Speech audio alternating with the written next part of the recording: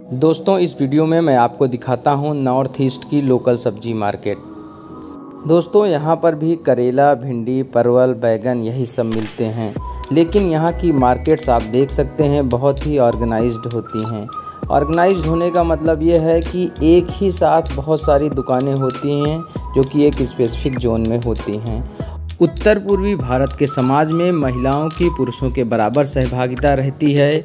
इसलिए इन दुकानों पर ज़्यादातर आपको महिलाएँ देखने को मिलेंगी, जो कि बैठ कर के सब्जियों का कारोबार करती रहती हैं। दोस्तों, ज़्यादातर सब्ज़ियाँ बाहर से आती हैं, इसलिए सब्ज़ियाँ मिलती तो हैं, लेकिन सब्जियों के दाम काफ़ी महँगे रहते हैं।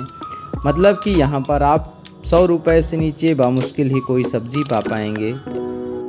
ये बोरे में रखी हुई लाल और हरे कलर की चीज़ तांबूल है, जिसे देसी भाषा में सुपारी भी कहा जाता है। यह इन फलों को तोड़ के निकाली जाती है। तो दोस्तों, यहाँ की मार्केट में यह एक विशेष चीज़ मुझे दिखी। उसके अलावा वही पाइनएप्पल, वही आलू, गोभी, तरोई, यही सारी चीज़ें यहाँ पर भी मिल रही हैं। फ़िलहाल, यहाँ की सब्जियों में हरी सब्जियों और पत्ते वाली सब्जियों की मात्रा काफ़ी अधिक होती है। मित्रों नॉर्थ ईस्ट की मार्केट्स ज़्यादा डेंसिटी वाली नहीं होती हैं क्योंकि यहाँ पर लोगों की संख्या कम है जनसंख्या घनत्व तो कम है। लेकिन फ़िलहाल पर्याप्त लोग इन सब्जियों को खरीदते हैं। सब्ज़ियाँ उनके फ़ूड हैबिट का इम्पोर्टेंट पार्ट हैं।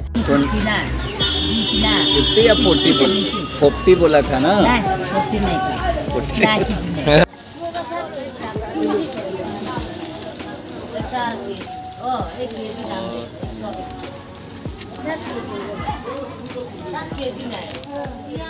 तो मित्रों, इस वीडियो में मैंने आपको दिखाया कि उत्तर पूर्वी भारत की लोकल सब्ज़ी मार्केट्स कैसी होती हैं।